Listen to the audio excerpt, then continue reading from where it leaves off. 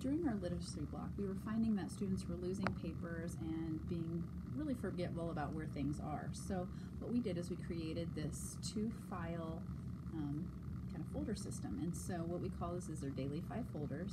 We have their name on the front and it's basically just two files folders, or just pocket folders, and we bound them together.